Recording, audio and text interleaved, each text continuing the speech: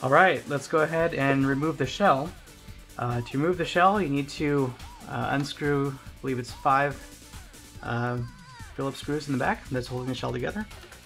Um, let's put a towel down on the table just to give it a little cushion, keep the, the shell from scratching on the table here.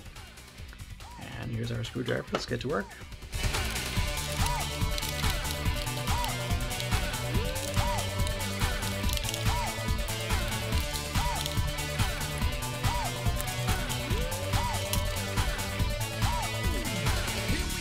Our screws are removed here, and um, want to make sure that we also remove the cover to the battery compartment and uh, VCD adapter.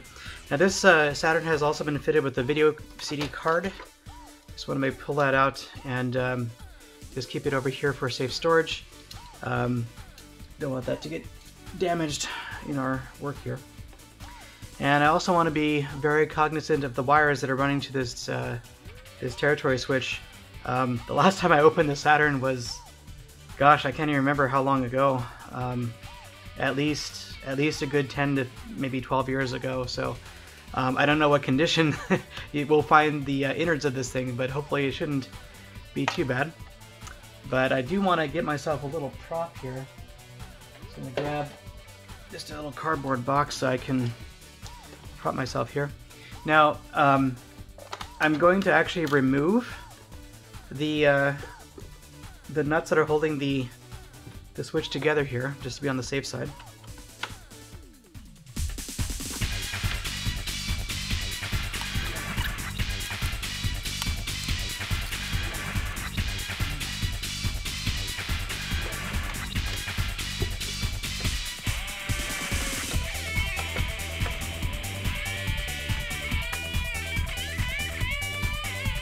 And let's remove the switch itself. Set that aside here. Actually, it's not too bad inside, gotta admit. Alright.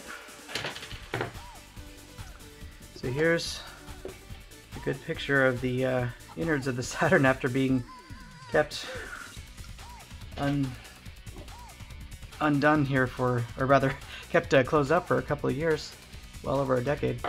Uh, this is the throw switch I was talking about. The wires here are very fragile. Uh, I'm just going to kind of set this over to the side here. Hopefully we won't have to resolder any of these wires going on. Um, let me get a good focus here. Um, this is a um, Japanese Model 2 Sega Saturn, uh, so-called Model 2 because the ribbon cable that goes from the motherboard the CD drive has 21 pins as opposed to 20. Uh, the original launch model had 20 pins. Uh, also denoted as a Model 2 or, or a round button model due to the fact that the power and reset buttons are circle instead of oval as in the original model. And also there's only a power on LED whereas the uh, revision 1 units, the launch units, had both a power on LED and a disk access LED that flashed. Uh, by the way, for those of you who are wondering, uh, the discoloration here on the shell is just due to oxidation of the specific plastic that they used for this mold. Uh, this is a problem that plagued uh, the, the Super Nintendo as well, um, and this can be reversed by bathing this in a mixture of uh, hydrogen peroxide and UV light. And so uh, there's many procedures on YouTube to restore that, and I might do that at some future date, or maybe just get a replacement shell altogether. So we'll see what happens, but um, wanted to kind of highlight a few things here. So um, this is that mod board I was talking about earlier, this guy right here. Um, excuse the, uh, the kind of haphazard way that this is wired in. Um, my soldering skills weren't exactly all that great many years ago. Um, but essentially this is what we're going to have to get rid of uh, because this is going to be replaced by the functionality of our mode. So uh, right now is simply just uh, hooked in through ribbon cables, one coming from the motherboard into the mod chip, and the other from the mod chip back to the CD drive. Uh, we're going to unplug that side.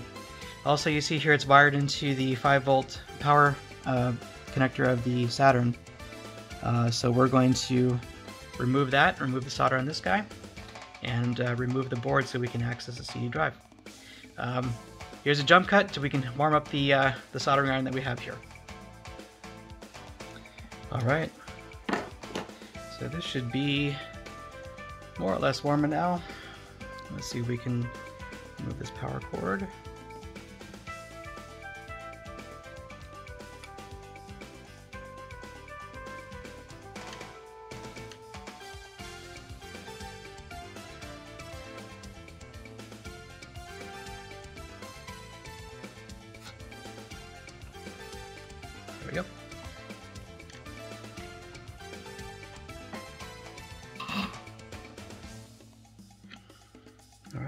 Let's remove the ribbon cable from the CD-ROM CD-ROM drive and the motherboard side. And set this aside for now. And we are going to be using, this is the original ribbon cable. Remove that. Let's keep it over here.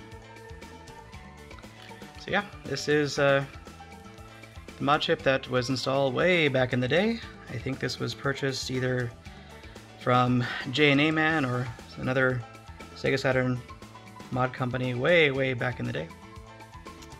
Let's set this aside. Now I do want to clean up some of the solder here before we proceed. Let's make it nice and neat.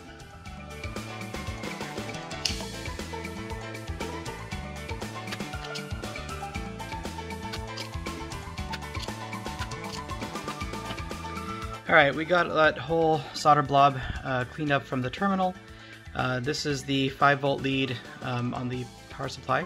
Um, the charred areas here are just the melted plastic of the harness, uh, the metal contact that makes uh, contact with the power supply board, as well as down to the um, the terminals leading to the, the bottom of the motherboard, uh, are perfectly intact. So I just tested that with the voltmeter while I was cleaning this up. Um, let's go ahead and proceed with the rest of the install. All right, the next thing we're going to have to do is um, remove the CD uh, drive unit. Um, we also need to make note of what type of power cable that we have. Uh, this is a 5-pin power cable, signifying it's a 21-pin unit. Uh, 21 pins correspond to the number of pins in the data uh, cable from the motherboard over to the CD drive. So we are going to disconnect all power leads and all ribbon cables.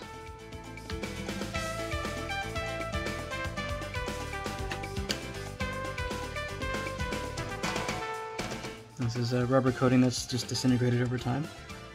This goes right underneath the uh, CD drive tray, but that's okay because we're not going to use this anymore.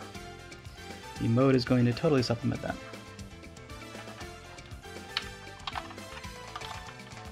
I'm going to go around here to the back and remove the two screws here that are holding the power supplies in place.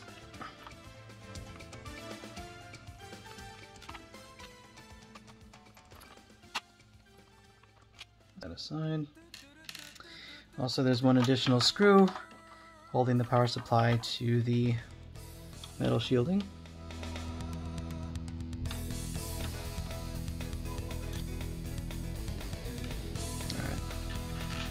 And very gently, we're going to lift the power supply board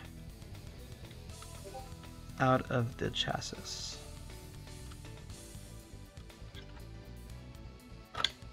There we go, just like that. Set it aside for now. Next we need to remove the metal shielding from the chassis and it's held together by eight screws, two up here, along the side, and up again, so let's take care of that now.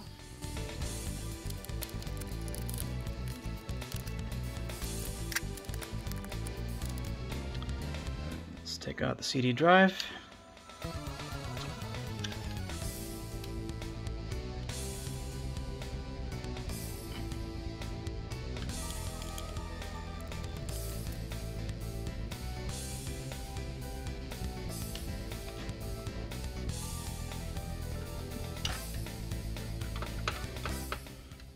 The screws holding the plate in.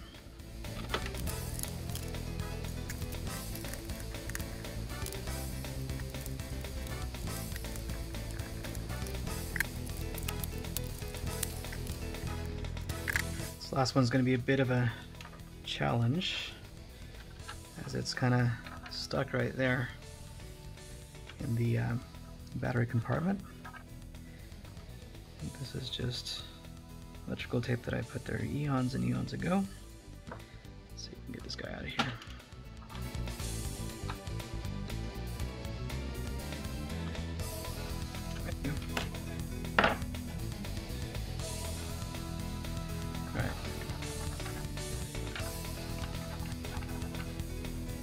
Now we're going to very gently remove the shielding.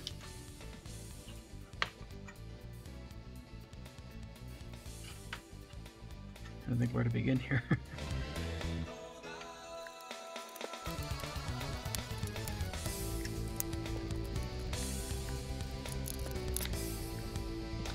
Alright, on this model Saturn there's two additional screws here by the controller ports.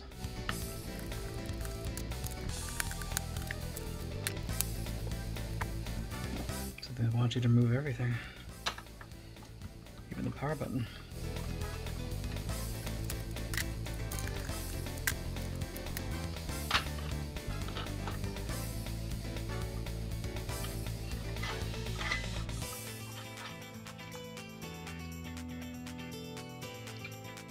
We go.